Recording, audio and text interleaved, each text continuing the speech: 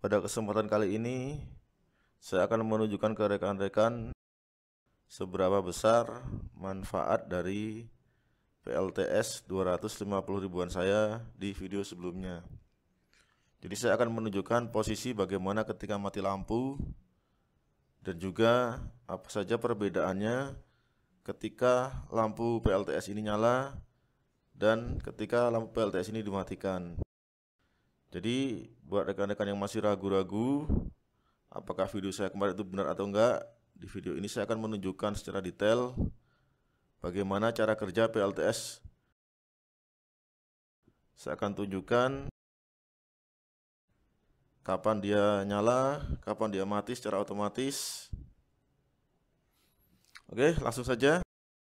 Yang pertama saya akan menunjukkan bagaimana ketika posisi listrik dari PLN mati ya rekan-rekan. Seperti terlihat di video, posisi di sekitar rumah saya terlihat sangat gelap. Dan dengan PLTS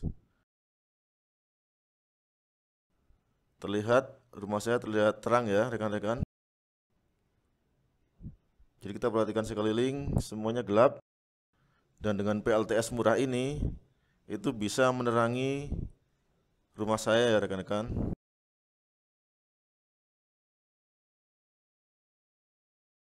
Jadi seperti ini salah satu manfaatnya. Kemudian di sini akan saya akan menunjukkan saat ini waktu sekitar pukul 22 lebih ya rekan-rekan. Jadi setelah empat setengah jam menyala, itu posisi baterai PLTS masih di 11,5 volt. Sekarang jam 22.14 Posisi baterai 11,5 Jadi dengan posisi segini Ini akan cukup untuk dinyalakan sampai pagi. Dan kita lihat posisi di luar.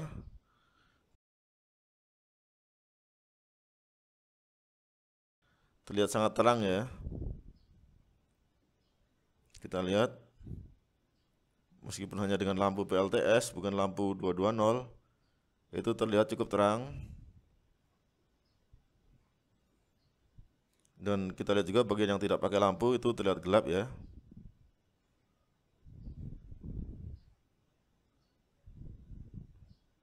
Oke, jadi seperti ini. Meskipun hanya lampu DC, tapi ini cukup terang ya rekan-rekan. Kemudian saya akan menunjukkan Bagaimana kalau lampu ini dimatikan? Kalau dimatikan, itu akan terlihat gelapnya. Jadi sangat berbeda dengan posisi tadi ketika lampu dinyalakan. Ruangan ini sangat terang, tapi dengan dimatikan, terlihat sangat gelap seperti ini. Oke, saya akan tunjukkan ke depan.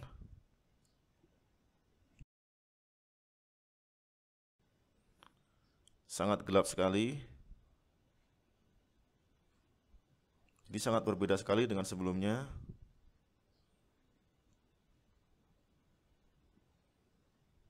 Oke. Selanjutnya saya akan coba nyalakan kembali lampunya.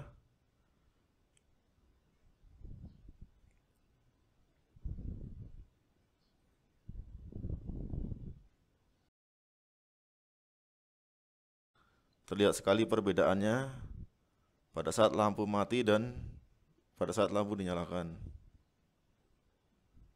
Jadi buat rekan-rekan tidak usah ragu bahwa ini benar. Rekan-rekan sudah bisa punya PLTS sendiri di rumah. Saya akan coba matikan lagi. Nah, seperti ini ya.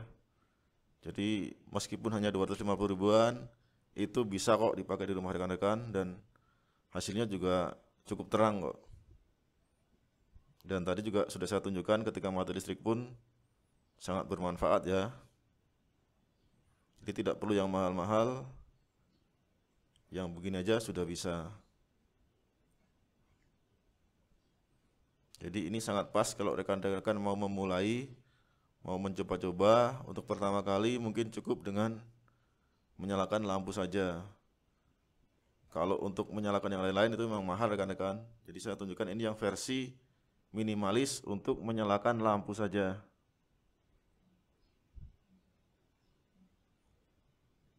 Kemudian saya tunjukkan di pagi harinya sekitar jam 5.20 seperti ini posisi aki atau baterai sudah di 11,1 11,2 volt.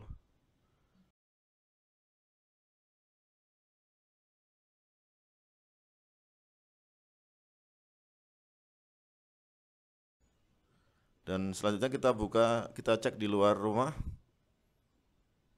dan kita tunjukkan juga bahwa lampu di sini masih menyala ya rekan-rekan jadi ini menyala dari sore sampai jam segini masih menyala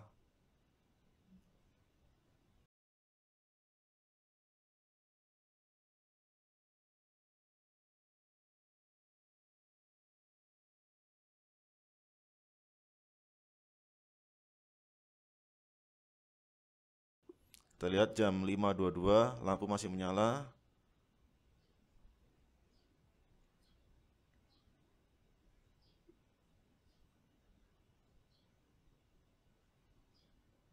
Oke, dan sekitar jam 5.22, maksud saya 5.23, lampu mati dengan sendirinya.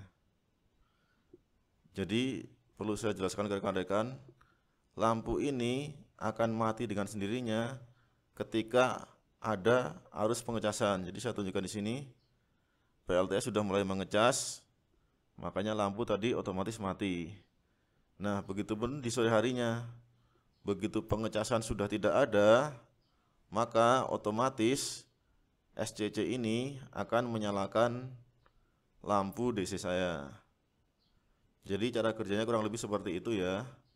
Ketika ada pengecasan lampu dimatikan, ketika tidak ada pengecasan, lampu akan dinyalakan. Jadi kita lihat seperti inilah kondisi SCC di pagi hari.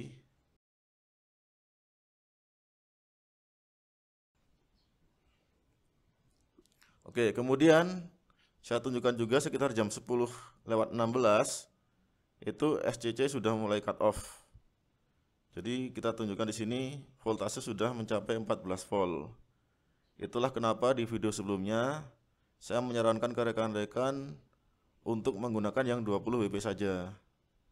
Karena kalau pakai yang 50 WP seperti punya saya ini itu sangat over ya. Baru jam 10 itu sudah penuh. Jadi sisanya sampai sore itu terbuang begitu saja. Bahkan kalau kita lihat kondisi di luar itu sebenarnya tidak terlalu panas ya. Ini cenderung ke mendung gitu. Tapi hanya dalam waktu beberapa jam itu baterai saya sudah penuh. Seperti ini ya rekan-rekan. Jadi sayang sekali banyak arus yang terbuang. Cuma kalau rekan-rekan mau pakai yang 50 WP ya itu kembali ke rekan-rekan cuma kalau untuk coba-coba dengan budget minimalis ya saya sarankan cukup dengan yang 20 WP saja tapi kalau emang ada rencana jangka panjang ya nggak apa-apa sih langsung beli yang 50 WP.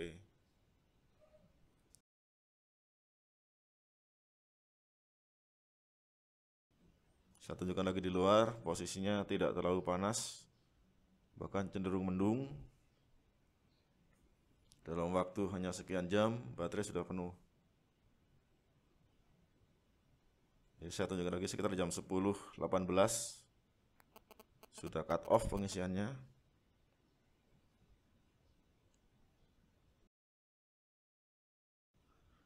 Dan kondisi cuaca juga tidak terlalu terik. Ini masih agak-agak mendung.